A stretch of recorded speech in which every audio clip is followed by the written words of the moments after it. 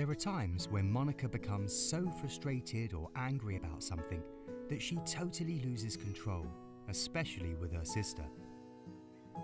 When that happens, even I struggle to keep calm, and then we're all in it together, and that really doesn't work.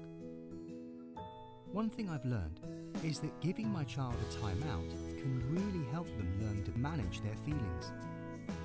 It's important to talk to your child first about what will happen when they go to timeout at a time when things are calm. If they understand when, how, and why they are having a timeout, it will help them to cope better when they do need it. Monica, it's okay to get upset, but it's not okay to pull Nina's hair. So, when this happens, you will go to timeout, which is over here. You will sit quietly and take some deep breaths. Then, when I can see that you're calm, you will come back and play. Timeout should be very brief, as one of the aims of timeout is to give your child a chance to try again as soon as possible. Right, like we said, it's not okay to pull Nina's hair.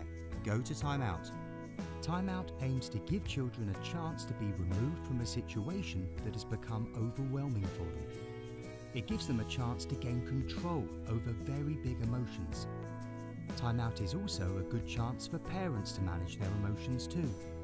But as soon as timeout is over, it's time to move on. I can see you're calm now, Monica. You can come and help finish making this building with us.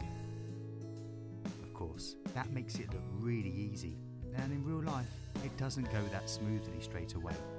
It's worth persisting though.